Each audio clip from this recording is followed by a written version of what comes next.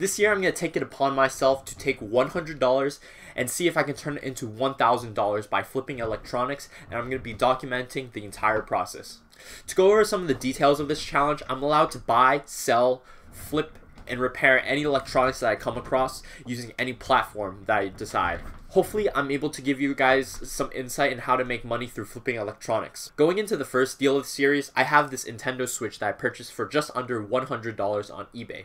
The reason I was able to purchase this Switch for so cheap is because it's missing a dock, Joy-Con, accessories, and it is also broken as well. But I'm hoping to have the parts on hand to fix this Switch to make it working again. So I like this listing for two different reasons. Firstly, this listing is open for best offers, meaning that I can send an offer to the seller and the seller at that point can choose to accept or deny it. Essentially, it works as negotiating as you would at a yard sale. Second off, I do have images that confirm that this switch is booting up. The reason why this is critical is because I do not want to deal with a broken switch that is bricked on my first repair. In the beginning of the challenge, I really only want to do repairs that require simple part swaps instead of uh, board level repairs. The reason why I want to avoid this is because it's a lot of risk when you're taking on a switch that has board damage because there could be a, a wild different issues. If I do get a bricked switch, it isn't the end of the world as I could use it for parts, but for the beginning, because our portfolio is just so small and so new, I really don't want to take up on that risk of having a completely bricked switch. In this listing, the seller stated that the game cartridge reader isn't working, meaning if you insert a game inside the Switch, it isn't able to register it. So I suspect this could be just a faulty game reader and just an easy swap is all I need. So I do have some game cartridge readers on hand, so I'm going to just take out the old game cartridge reader and put in my spare and see what would happen. So now let's start with the unboxing of the Switch.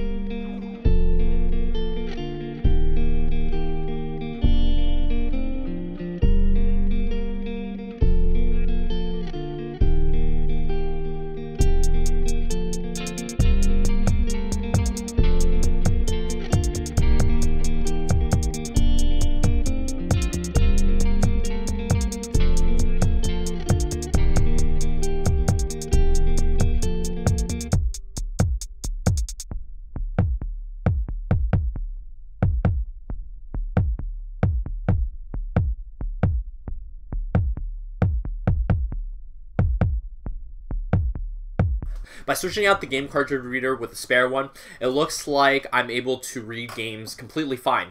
And it looks like the issue has been fixed.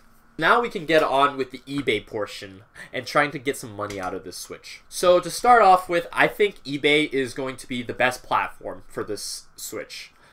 Doing some research and trying to look at Switches that are similar to mine, being the Animal Crossing one and console only, or the tablet only, I'm able to find that it's roughly around 150 to 180 is the selling point. There are some dents on this Switch and it's not in the best condition, so I'm speculating that I can get like probably 150 out of it.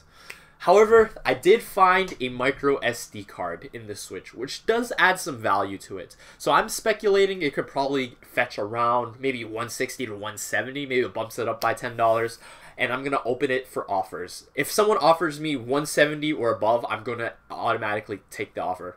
Or even 160 above, I, I might just take the offer as is. I would usually post this also on Facebook Marketplace in order to get more traction. But for this flip, I feel like just having selling a tablet only or console only is rather niche, and no one's really going to be picking this item up. But also, it doesn't really hurt to post it on Facebook Marketplace as well. Uh, in this case, I don't really want to bother with uh, meeting up with people to sell a Switch, and I'm only making 40 50 bucks. So, for that reason, I'm just going to be listing this on eBay for the time being. Now that the listing is created, we can just sit back and wait.